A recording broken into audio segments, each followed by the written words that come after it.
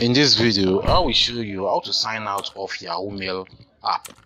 So to do this, open your Yahoo Mail on your phone. Yahoo Mail, click on it to open.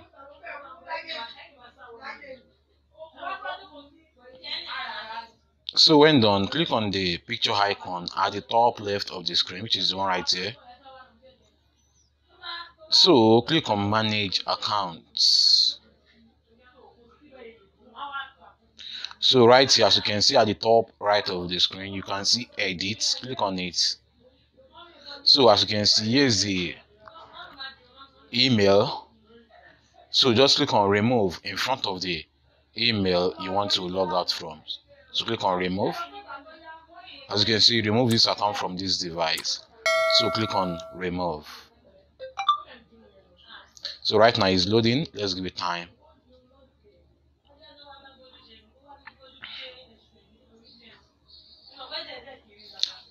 Okay, so let's give it time. So right now, as you can see, the Yahoo Mail has been signed out.